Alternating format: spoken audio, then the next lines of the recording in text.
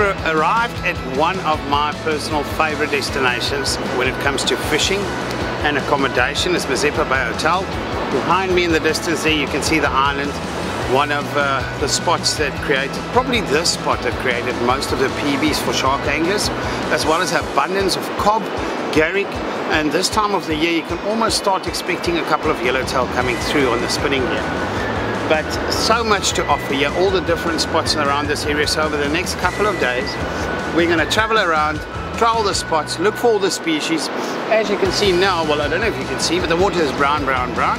Four days of northeast if not five and the water's ice cold it's brown. We're gonna go out tomorrow morning and we're most probably gonna get some reggies we hope we get some really big ones. That's the idea.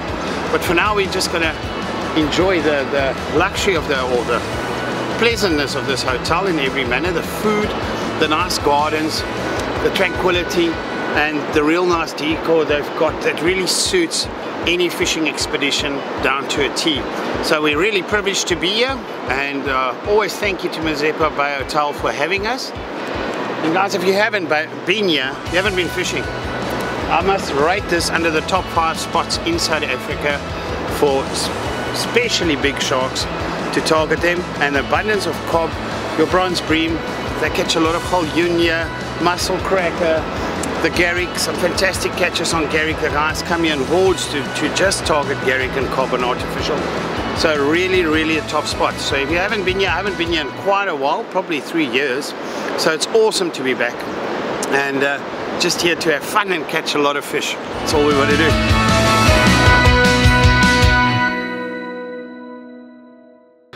Now Mazeppa Bay Hotel offers it all, from self-catering to fully catered units.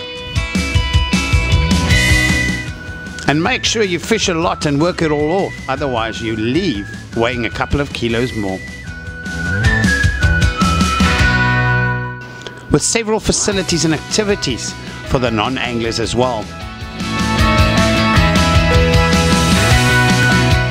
Now there's something to do for everybody. From 4x4 trails, quad biking, hiking trails, the pool, tennis courts, kiddies play areas, daycare services, to mention but a few.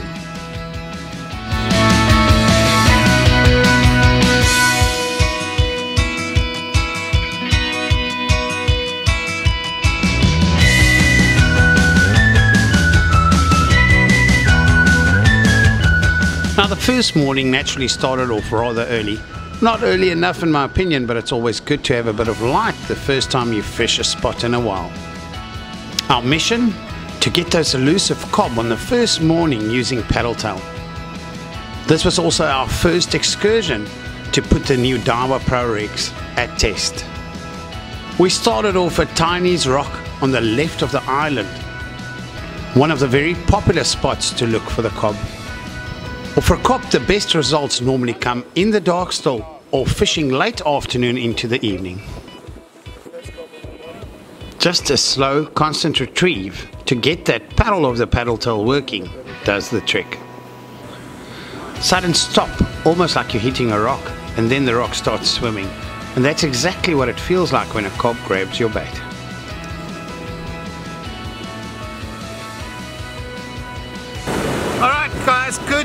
For the trip.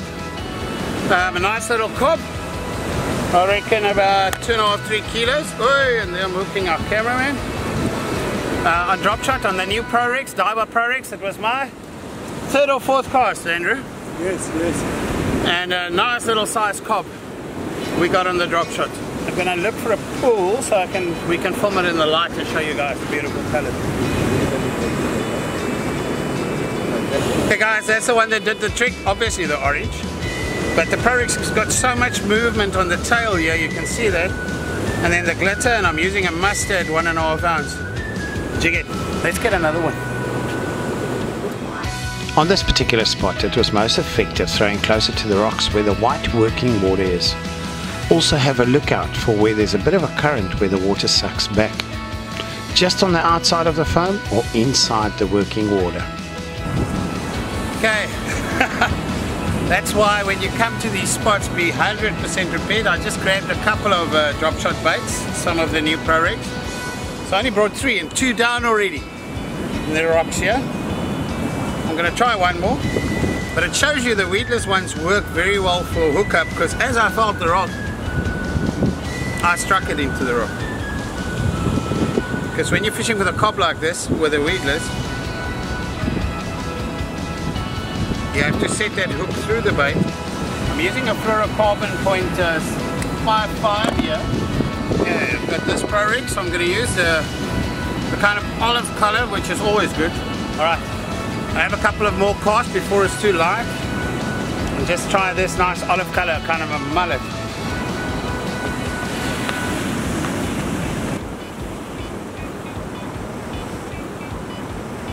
Alright guys, well, two casts, that one got stuck as well. I think uh, the best would be to go a bit lighter here, like one ounce, like Andrew just suggested.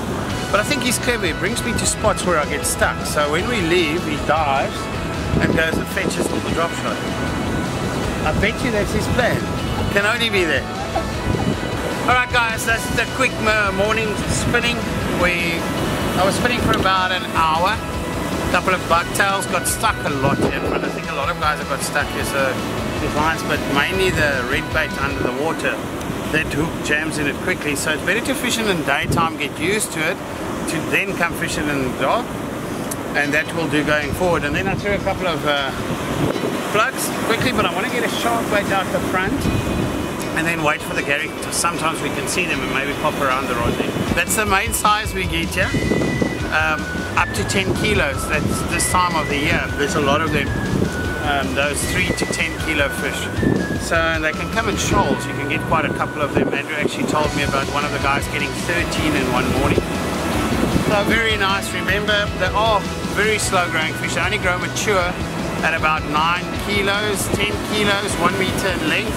You're only allowed one a day if you're going to keep them but they're all very slow maturing fish to become sexually mature. Um, which makes them quite a vulnerable species, probably the, one of the most popular edible species in South Africa. Everyone targets them, so keep it in mind and look after them.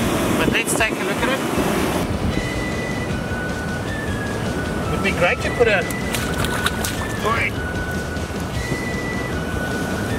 put a a chip on him to see where he goes now we release him if he's going to go into uh, darker areas but that's what they generally do nice little dusky cob